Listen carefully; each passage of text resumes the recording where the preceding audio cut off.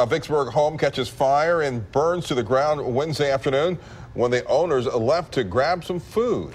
But as WJTV's Katie Rowe reports, he wants people to learn from his mistake to hopefully prevent this from happening to them. She joins us now live in Vicksburg.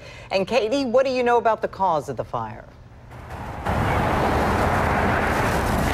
Melanie and Byron, all that is left is a shell of charred wood. And in this window is what used to be the living room. And on the front porch, most of the burned items are just unrecognizable, except for this kerosene heater, which is what fire officials are blaming this devastation on. Now they gone, the house gone, children gone. I'm the only one left here.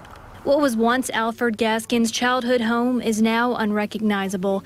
But I look back on it, you know, it, it seemed like it was so simple. How, how, how did this happen? Gaskin was living in this house with no electricity, so when the temperatures began to drop, he bought a kerosene heater to try and stay warm. When I left McDonald's, you know, I was feeling okay because I knew that when I get back, the room would be warm.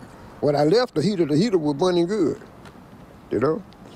I don't know what went wrong, but when I got back, the heater was on fire and the room was on fire.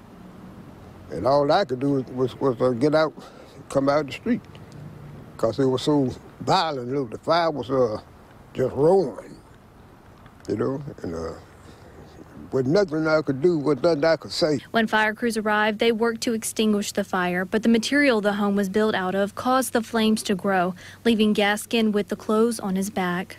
It's like nowhere to go.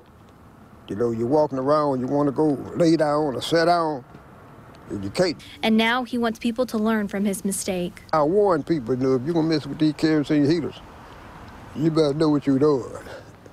One thing I do know is that, like they say, this ain't going to happen to me. This ain't going to happen to me. This could happen to anybody.